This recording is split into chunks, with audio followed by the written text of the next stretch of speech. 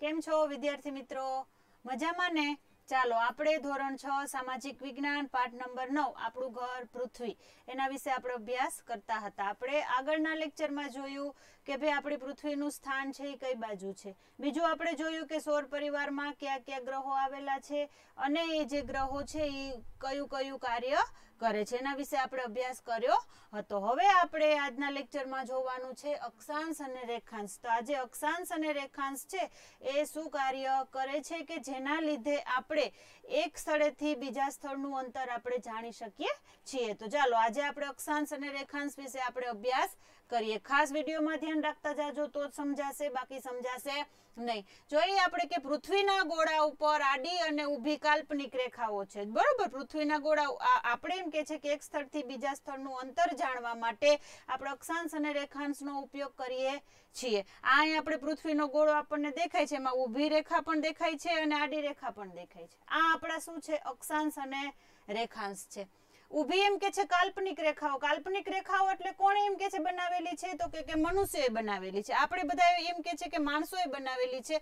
શું કામ એમ કે માણસોએ બનાવેલી છે? તો કે કે ભાઈ આપણે શું કરવાનું છે? એક એક સ્થળેથી બીજા સ્થળ વચ્ચેનું અંતર જાણવું છે. એમનામ આપણે પૃથ્વી ઉપર ફરીએ, તો આપણે એક સ્થળથી બીજા સ્થળનું અંતર આપણે જાણી શકતા નથી. એટલા માટે એક સ્થળથી બીજા સ્થળનું અંતર જાણવા માટે આપણે અક્ષાંશ અને રેખાંશની રચના કરેલી છે. ઊભી એમ કે છે કે જે કાલ્પનિક રેખાઓ છે, તેને આપણે શું કહી શકીએ છીએ? તો કે કે અક્ષાંશ અને રેખાંશ કહી શકીએ છીએ. આ એમ કે છે કે કલ્પિત રેખાઓ દ્વારા પૃથ્વીના ચોક્કસ સ્થળનું ચોક્કસ સ્થાન અને સમય જાણી શકાય છે. બરોબર? ચોક્કસ સ્થળનું ચોક્કસ સ્થાન અને સમય આપણે જાણી શકીએ છીએ. ત્યાર પછી આપણે જોઈએ કે આ એમ કે છે કે જમીન પર આ એમ કે છે રેખાઓ હોતી નથી. આ એમ કે છે, રેખાઓ જમીન ઉપર નથી હોતી, પણ આપણે એક સ્થળથી બીજા સ્થળનું અંતર જાણવા માટે આપણે શું કરીએ છીએ? તો કે આ રેખાઓ છે, એ જોઈ શકીએ છીએ. આ રેખાઓ માત્ર નકશામાં જોઈ શકાય છે, બીજે ક્યાંય આપણે જોઈ શકતા નથી, કેમ કે આપણે એક સ્થળથી બીજા સ્થળનું અંતર જાણવું છે એટલા માટે. હવે આપણે જોઈએ કે અક્ષાંશ એટલે શું? બરોબર છે? પૃથ્વીના ગોળા પર દોરેલી આડી રેખાઓને અક્ષાંશ કહેવામાં આવે છે ખાસ યાદ રાખવાનું, આ જે પૃથ્વીનો ગોળો છે, એના ઉપર જે આડી રેખાઓ છે આડી ઊભી રેખા અક્ષાંશમાં રેખાંશમાં આડાવરું ન થઈ જાય. ખાસ જોજો. બરોબર કે પૃથ્વીના ગોળા ઉપર દોરેલી જે આડી રેખાઓ છે, જેને આપણે શું કહી શકીએ છીએ? તો કે અક્ષાંશ કહીએ છીએ. જોઈએ આપણે અક્ષાંશ વિશે કે પૃથ્વીની સપાટી પરના કોઈ પણ સ્થળને જો સીધી રેખાથી પૃથ્વીના કેન્દ્ર સાથે જોડવામાં આવે, તો તે રેખાથી વિષુવવૃત્તીય કાલ્પનિક સપાટી સાથે કેન્દ્ર આગળ જેટલા અંશનો ખૂણો બને છે, તે આપણો શું બને છે? તો કે અક્ષાંશ બને છે. આ જે વચ્ચેનો જે ભાગ છે આપણું શું છે? તો કે પૃથ્વી સપાટીનું કેન્દ્ર છે. શું છે? તો કે કેન્દ્ર છે. ત્યાંથી આપણે શું કરવાનો? ખૂણો આપણે દોરવાનો. અને આ એમ કે છે, જેટલો ભાગ હોય છે એ આપણો શું બને છે તો કે અક્ષાંશ બને છે. ખાસ યાદ રાખવાનું, બરોબર? કે જે આપણો શું બને છે? અક્ષાંશ બને છે. અક્ષાંશ ઋતુની કુલ સંખ્યા એકસો છે. ખાસ યાદ રાખવાનું, અક્ષાંશ ઋતુની જે આડી રેખાઓ દોરેલી છે, એની કુલ સંખ્યા કેટલી છે? એકસો છે.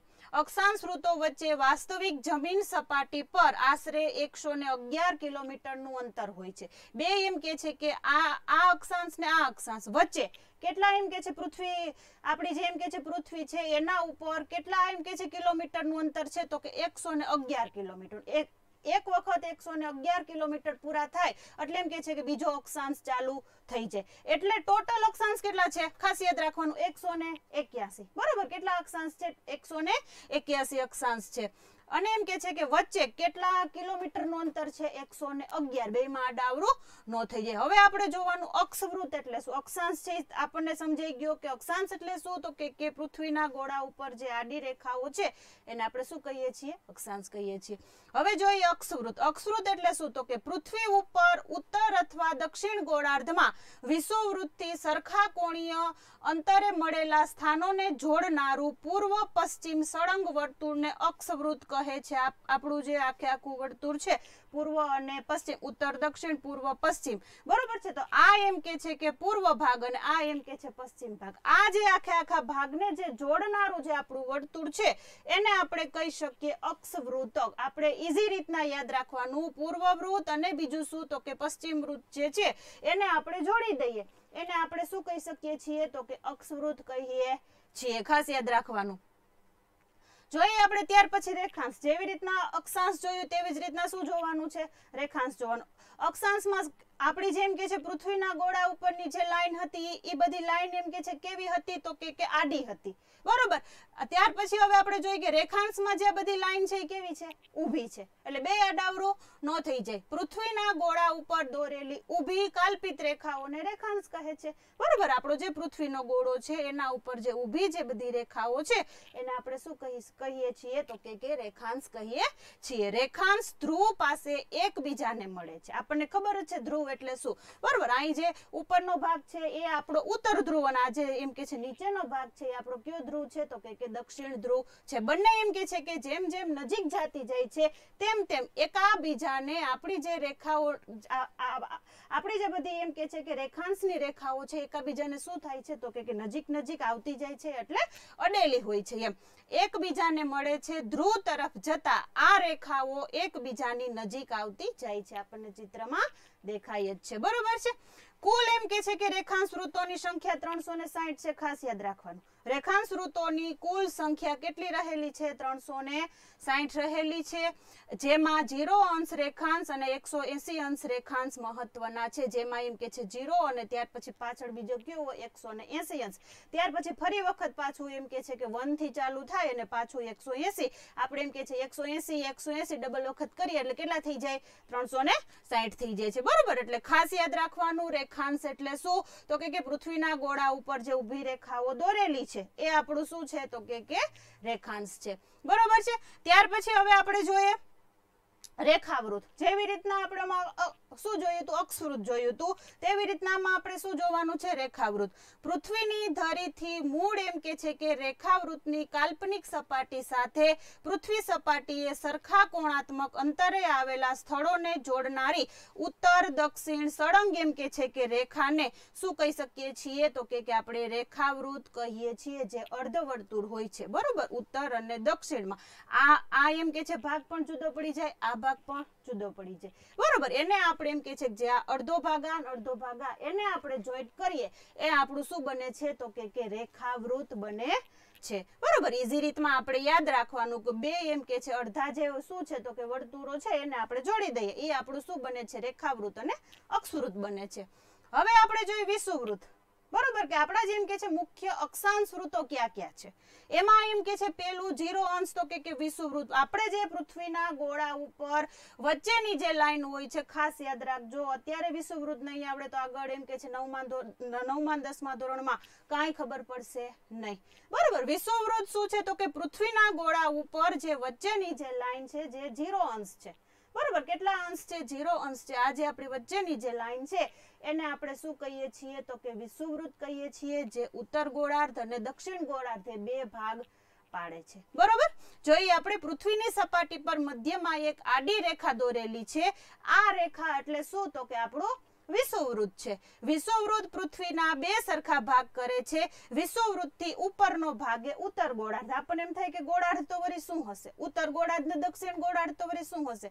પણ એમ કે છે કે વિષુવવૃત આ આપણું એમ કે છે વિષુવવૃત છે. વિષુવવૃત્તથી ઉપરનો જે ભાગ છે, ખાસ યાદ રાખવાનું, એને આપણે ઉત્તર ગોળાર્ધ કહીએ છીએ. અને એમ કે છે કે વિષુવવૃત્તથી નીચેનો જે ભાગ છે જેમ કે છે કે દક્ષિણ ભાગમાં આવેલો છે, એને આપણે દક્ષિણ ગોળાર્ધ કહીએ છીએ. ખાસ યાદ રાખવાનું રહેશે. વિષુવૃત્તિ ઉપરનો ભાગ ઉત્તર ગોળાર્ધ અને દક્ષિણ તરફનો ભાગ દક્ષિણ ગોળાર્ધ. આમ, ઉત્તર તરફના અક્ષાંશને, ઉત્તર અક્ષાંશ કહીએ છીએ અને દક્ષિણ તરફના અક્ષાંશને શું કહીએ છીએ? દક્ષિણ અક્ષાંશ કહીએ છીએ. પણ આપણે ખાસ યાદ રાખવાનું વિષુવૃત્ત એટલે શું? તો કે જે વચ્ચેની જે લાઈન છે, એના આધારે આપણે ઉત્તર ગોળાર્ધ અને દક્ષિણ ગોળાર્ધ એવા આપણે બે ભાગ પાડી શક્યા છીએ. આપણે ખાસિયત આપણે જો ઘણી વખત આપણે ન્યૂઝપેપરમાં સાંભળતા હોઈએ કે ભાઈ આ જે દેશ છે એ ઉત્તર ગોળાર્ધમાં આવેલું છે. આ જે દેશ છે એ દક્ષિણ ગોળાર્ધમાં. પણ આ ગોળાર્ધ શું છે એ જ આપણને ખબર ન હોય. તો આપણે એમ કે છે કે અંદાજો લગાવી શકતા નથી. તો આજે આપણને ખબર પડી ગઈ કે ભાઈ ઉત્તર ગોળાર્ધ શું છે અને દક્ષિણ ગોળાર્ધ શું છે અને બીજું શું? તો કે વિષુવવૃત્ત શું છે? હવે આપણે જોઈએ કે ભાઈ મુખ્ય અક્ષાંશ વૃત્તો ક્યાં ક્યાં છે? એમાં આપણને વિષુવવૃત્તની તો આપણને ખાસ ખબર પડી ગઈ કે વિષુવવૃત્ત એટલે શું છે? અને આજે જે વિષુવવૃત્ત છે એ ક્યાં આવેલો હોય છે. જોતા જઈએ આપણે કે વિષુવવૃત્તથી ઉત્તરે. બરોબર વિષુવવૃત્તથી ક્યાં જવાનું? ઉત્તર એટલે કે ઉપર જવાનું. ત્રેવીસ પોઈન્ટ પાંચ અંશ શું હોય છે? કર્કવૃત હોય છે, ખાસ યાદ રાખવાનું. ત્રેવીસ પોઈન્ટ પાંચ અંશ કર્કવૃત હોય છે. એનાથી ઉપર આ જે છે, ત્યાં એમ કે છે કે કેટલા અંશનો ખૂણો હોય છે? તો કે કે પાસઠ પોઈન્ટ પાંચનો. બરોબર છે? ના ના સોરી પાસઠ નહીં પણ છાસઠ પોઈન્ટ પાંચ અંશનો શું હોય છે? તો કે જે આપણો આ જે છે, એ કે છે કે છાસઠ પોઈન્ટ પાંચ અંશનો ખૂણો હોય છે. આન- આપણે બંનેનું ટોટલ કરીએ એટલે કેટલા મળી જાય? આપણને સો મળી જાય. બરાબર? એ આપણું શું થયું તો કે ઉપરનો ભાગ ઉત્તર ગોળાર્ધ ને નીચેનો ભાગ દક્ષિણ જોતા જઈએ આપણે એટલે તમને સમજાઈ જશે. વિષુવવૃત્તથી ઉત્તરે ત્રેવીસ પોઈન્ટ પાંચ અંશ શું આવેલું છે? કર્કવૃત્ત અને વિષુવવૃત્તથી દક્ષિણે ત્રેવીસ પોઈન્ટ પાંચ અંશ શું આવેલું છે? તો કે મકરવૃત્ત આવેલું છે. ઉપર કર્કવૃત્ત અને નીચે મકરવૃત્ત આપણે બંનેના ખૂણા યાદ રાખવાના ત્રેવીસ પોઈન્ટ પાંચ અંશ અને અને નીચે પણ મકર મકરવૃત્તનો પણ શું છે? તો કે ત્રેવીસ પોઈન્ટ પાંચ અંશ. જેમ કે છે મકરવૃત કહે છે આ જ પ્રમાણે થી ઉત્તરે છાસઠ પોઈન્ટ પાંચ અંશ એટલે કે ઉત્તર શું આવેલું છે? ઉત્તર અક્ષાંશ રેખાને ઉત્તર ધ્રુવવૃત્ત કહે છે. અને અહીંયા જેમ કે છે, નીચે જે છાસઠ પોઈન્ટ પાંચ અંશ છે, એને આપણે દક્ષિણ ધ્રુવવૃત્ત કહીએ છીએ. જો અહીંયા આપણે જે આપણે આ જે મેઇન જે ટપકી છે, એને આપણે ધ્રુવો કહીએ છીએ, ખાસ યાદ રાખવાનું. એને આપણે અહીંયા ઉપર છે, એને ઉત્તર ધ્રુવ અને નીચે છે, એને દક્ષિણ ધ્રુવ કહીએ છીએ. પણ અહીંયા કર્કવૃત્તથી ઉપર જે આપણી જે આ છે, એનો જે ખૂણો છે છાસઠ પોઈન્ટ પાંચ.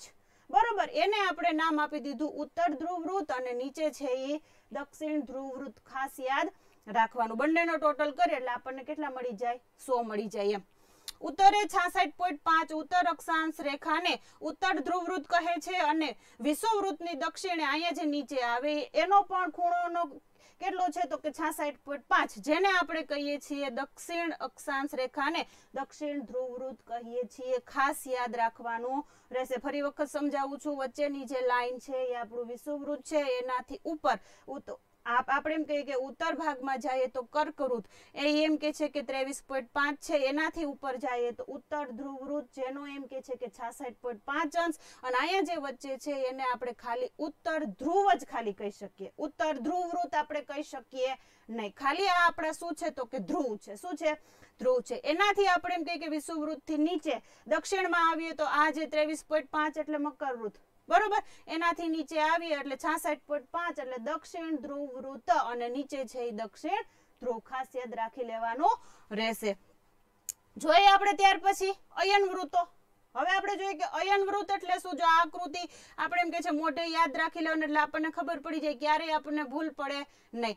વિષુવવૃત્તની ઉત્તરમાં કર્કવૃત સુધી તેમજ દક્ષિણમાં મકરવૃત સુધી દેખાતી સૂર્યની ગતિને અયન કહે છે. અહીંયા આપણો સૂર્ય છે આપણી પૃથ્વી છે. ટૂંકમાં આ જે એના એમ કે છે સૂર્યના કિરણો ક્યાં પડે છે? આખે આખા પૃથ્વીના ગોળા ઉપર પડે છે. એમાં એમ કે છે કર્કવૃત અને એમ કે છે મકરવૃત અને બીજું શું? તો કે વિષુવૃત ઉપર સૂર્યના કિરણો વધારે હોય છે. અહીંયા જે આપણું ઉત્તર ધ્રુવ અને અહીંયા જે આપણું શું છે? દક્ષિણ ધ્રુવ, ત્યાં સૂર્યના કિરણો બહુ એમ કે છે વધારે પડતા પડતા નથી. ત્યાં સૂર્યના કિરણો છે એ ઓછા પડે છે. બરોબર છે? એટલે આ એમ કે છે જે જગ્યાએ સૂર્યના કિરણો પડે છે એને આપણે શું કહીએ તો કે અયન કહીએ છીએ, ખાસ યાદ રાખવાનું રહેશે. દક્ષિણમાં મકરવૃત્ત સુધી દેખાતી સૂર્યની ગતિને અયન કહેવાય છે. તેથી આની વચ્ચેના વૃત્તોને અયન વૃત્તો કહેવાય છે. એટલે આની જે વચ્ચેના, આની એમ કે છે વચ્ચેના વૃત્ત ક્યાં ક્યાં આવ્યા? કર્કવૃત્ત વિષુવૃત અને મકરવૃત. બરોબર? ઉપર આપણે જોઈએ કે ઉત્તર ધ્રુવવૃત અને દક્ષિણ ધ્રુવવૃત.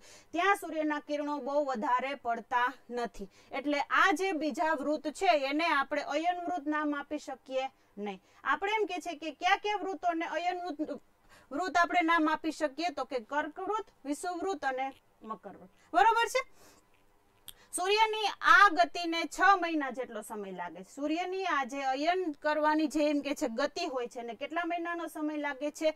છ મહિનાનો સમય લાગે છે. પૃથ્વી, આપણી જે પૃથ્વી છે એ છાસઠ પાંચ અંશના ખૂણે સેજ કેવી હોય છે તો કે નમેલી હોય છે. તેના લીધે શું થાય છે તો કે ઋતુઓનું પરિવર્તન થાય છે. આપણી એમ કે છે પૃથ્વી છે, પોતાની ધરી ઉપર તો હોય જ છે. હમણાં આપણે આગળ આપણે સમજશું કે ભાઈ દિવસ રાત કેવી રીતના થાય છે, ઋતુઓનું પરિવર્તન કેવી રીતના થાય છે. આપણી જે પૃથ્વીનો ગોળો છે, પોતાની ધરી ઉપર કેટલા અંશના ખૂણે એમ કે છે નમેલી હોય છે તો કે છાસઠ પોઈન્ટ પાંચ અંશના ખૂણે નમેલી હોય છે. પૃથ્વી છાસઠ પોઈન્ટ પાંચના ખૂણે નમેલી છે. આથી સૂર્યના કિરણો કર્કવૃત અને મકરવૃત વચ્ચે લગભગ કેવા પડે છે તો કે સીધા પડે છે. ઉપર એમ કે છે ઉત્તર ધ્રુવ વૃત અને નીચે નીચે દક્ષિણ ધ્રુવ વૃત પર સૂર્યના કિરણો કેવા પડે છે તો કે ત્રાંસા પડે છે. જોઈએ આપણે ત્યાર પછી જીપીએસ ગ્લોબલ પોઝિશનિંગ સિસ્ટમ આપણે એમ કહીએ કે મારે આ કે આ જગ્યાનો અક્ષાંશ રેખાંશ જાણવો છે. પણ કઈ રીતના જાણી શકીએ? અત્યારે તો આપણી પાસે સરસ મજાની સિસ્ટમ આવી ગઈ કે આપણે એમ કે છે, શું કરીએ છીએ? તો કે કે ભાઈ આપણે, આપણી પાસે શું હોય છે? એન્ડ્રોઈડ ફોન હોય છે, જેમાં આપણે ગૂગલ મેપના માધ્યમથી એક જગ્યાએથી બીજી જગ્યાએ આપણે સરળતાથી પહોંચી શકીએ છીએ. કેટલા કિલોમીટરનું અંતર છે આપણે જાણી શકીએ છીએ. પ્લસમાં આપણે એક એક જગ્યાએથી બીજી જગ્યાનો આપણે અક્ષાંશ કે રેખાંશ જાણવો હોય તો પણ આપણે જાણી શકીએ છીએ. જોઈએ આપણે કે ગ્લોબલ પોઝિશનિંગ સિસ્ટમ દ્વારા મોબાઈલ ફોન અને ગૂગલ અર્થ મારફતે આપણને કોઈ પણ સ્થળના અક્ષાંશ અને રેખાંશ જાણી શકીએ છીએ. મોબાઈલ ઉપર આપણે ઘણી બધી પ્રવૃત્તિઓ કરતા હોય તો ક્યારેક ક્યારેક એક જગ્યાએથી બીજી જગ્યાએ જાય તો મેપ ઉપર આપણે અક્ષાંશ અને રેખાંશ ગોતવાની પણ આપણે પ્રવૃત્તિ કરવાની કે જેના લીધે આપણને ખબર પડે કે આ સ્થળથી આ સ્થળ વચ્ચેનો અક્ષાંશ અને રેખાંશ કેટલો છે. આપણા ફોનમાં આપણને સરળતાથી મળી જાય. ઇન્ટરનેટની સુવિધાવાળા મોબાઈલ વડે જે તે સ્થળના અક્ષાંશ અને રેખાંશ મળી જાય છે. આજે તો આ સિસ્ટમ દ્વારા અક્ષાંશ રેખાંશ ખૂબ જ સહેલાઈથી મળી જાય છે. કઈ સિસ્ટમ દ્વારા? તો કે જીપીએસ દ્વારા. કે ભાઈ ગ્લોબલ પોઝિશનિંગ સિસ્ટમ કે જેના દ્વારા આપણે અક્ષાંશ અને રેખાંશ સરળતાથી આપણે જાણી શકીએ છીએ. હવે આપણે જોઈએ કે મુખ્ય રેખાંશ વૃત્તો ક્યાં ક્યાં છે? બરોબર છે. જોઈએ આપણે એમાં કે ભાઈ ગ્રીનિચ રેખા. ગ્રીનિચ રેખા છે એ ક્યાંથી પસાર થાય છે? તો કે કે ઇંગ્લેન્ડ જે આપણું એમ કે છે ઇંગ્લેન્ડ છે, ત્યાં ગ્રીનિચ નામનું શું છે? તો કે શહેર છે. એના ઉપરથી ગ્રીનિચ રેખા પસાર થાય છે. જોઈએ આપણે કે ઇંગ્લેન્ડના ગ્રીનિચ શહેર પરથી પસાર થતી જીરો અંશ રેખાંશ વૃત્તને ગ્રીનિચ રેખા કહે છે. આપણે જોયું કે રેખાંશ વૃત્ત એટલે શું? તો કે ઊભી જે જે એમ કે છે, લીટી દોરેલો એને આપણે રેખાંશ કહીએ છીએ. તો આ એમ કે છે, વચ્ચેની જે રેખાંશ છે, એ ક્યાંથી પસાર થયું? તો કે ઇંગ્લેન્ડના ગ્રીનિચ શહેર પરથી. ક્યાંથી પસાર થયો? તો કે ઇંગ્લેન્ડના ગ્રીનિચ શહેર પરથી જે પસાર થયો, તેને આપણે શું કહી શકીએ છીએ? તો કે ગ્રીનિચ રેખા આપણે કહી શકીએ છીએ, જેનો અક્ષાંશ કેટલો છે? તો કે કે જીરો રેખાંશ છે.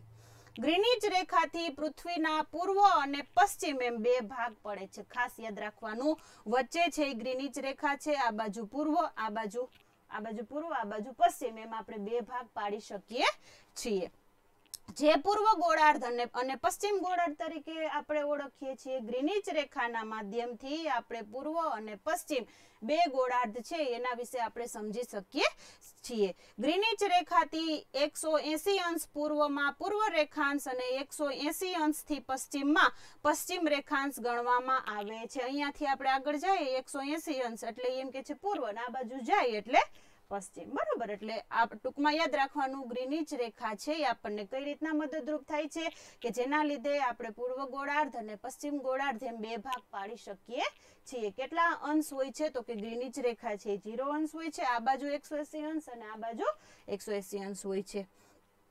જોઈએ આપણે ત્યાર પછી મુખ્ય એમ કે છે કે રેખાંશ ઋતુમાં આંતરરાષ્ટ્રીય દિનાંતર રેખા આંતરરાષ્ટ્રીય દિનાંતર રેખા એટલે શું? જોઈએ આપણે આંતરરાષ્ટ્રીય દિનાંતર રેખા તો કે 80 એમ, એકસો ને એસી એમ કે છે કે રેખાંશ વૃત્તને આંતરરાષ્ટ્રીય દિનાંતર રેખા કહેવામાં આવે છે. એકસો એસી અંશની જે એમ કે છે કે રેખાંશ વૃત્ત આપણો જે છે અહીંયા આપણને દેખાય જ છે ચિત્રમાં.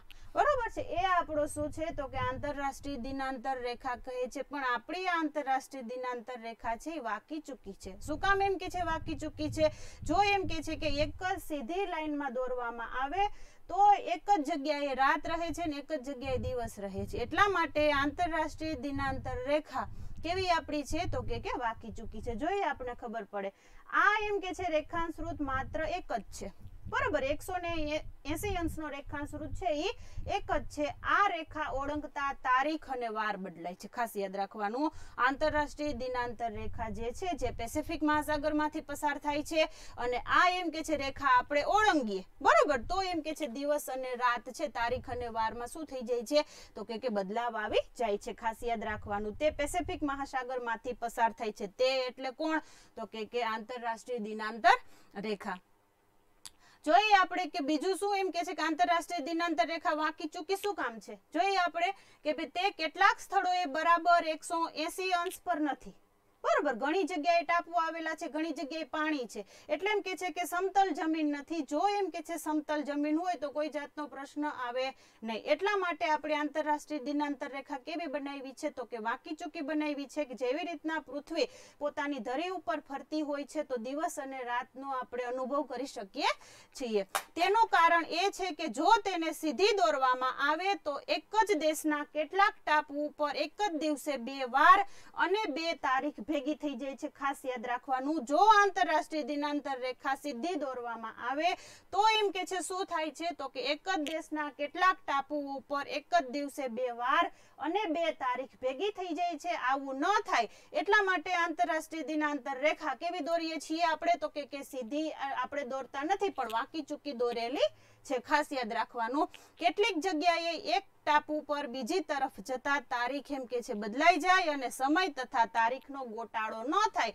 એટલા માટે આંતરરાષ્ટ્રીય દિનાંતર રેખા વાંકી ચૂકી દોરવામાં આવે છે. આ એમ કે છે, નિવારવા માટે રેખાના માર્ગમાં આવતી જમીન બાજુ રાખીને તેને સમુદ્ર તરફ ફેરવી છે. એટલા માટે તે કેવી છે તો કે વાંકી ચૂકી છે. ખાસ યાદ રાખવાનું કે આંતરરાષ્ટ્રીય દિનાંતર રેખા વાંકી ચૂકી શું કામ છે? બરોબર છે. હવે આપણાના પછીના લેક્ચરમાં આપણા જે કટિબંધો છે એના વિશે આપણે અભ્યાસ કરીશું. અત્યારે એકના એક લેક્ચરમાં સળંગ ભણશું તો બધું મિક્સ થઈ જાય. બરોબર છે? એટલે આપણે જોયું, આગળ આપણે જોયું કે ભાઈ જીપીએસ કે આપણે કેવી રીતના અક્ષાંશ, રેખાંશ જાણી શકીએ? અક્ષાંશ શું? બીજું આપણે જોયું રેખાંશ શું? ત્રીજું આપણે જોયું કે વિષુવવૃત્ત શું છે? બરોબર, આના વિશે આપણે અભ્યાસ કર્યો. હું આશા રાખું છું કે તમને બધું સમજાઈ ગયું છે આના પછીના લેક્ચરમાં આપણા જે કટિબંધો છે, બરોબર, કે ભાઈ આપણી જેમ કે છે, ઋતુઓનું પરિવર્તન કેવી રીતના થાય છે, રાત દિવસ કેવી રીતના થાય છે, તેના વિશે આપણે અભ્યાસ કરીશું. ત્યાં સુધી આવજો. જય શ્રી કૃષ્ણ, બાળ મિત્રો.